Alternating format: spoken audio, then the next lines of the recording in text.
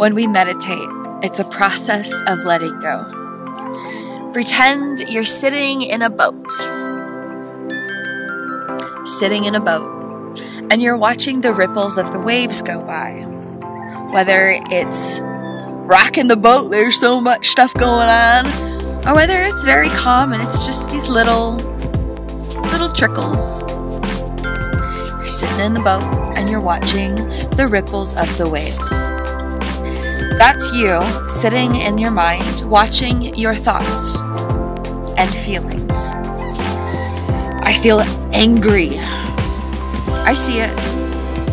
I'm watching it. It's gone. What else is here? I feel really lonely. Okay. I see it. I feel it. And it goes by. What else is here? What's in the next room?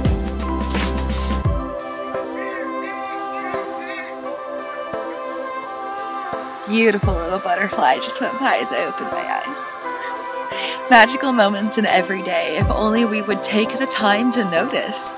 If I had been caught up in all my to do lists like I was planning on today, I wouldn't have had that moment. Choosing meditation over accomplishing my task that I know I need to get done allowed me to experience magic just there.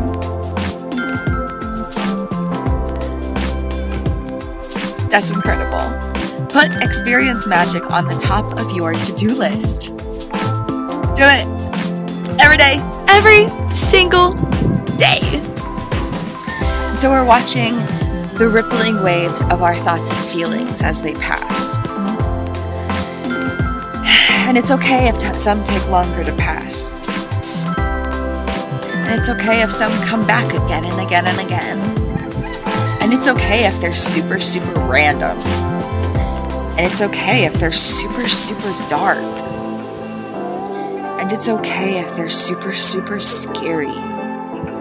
It's all allowed here in this beautiful, perfectly imperfect moment of.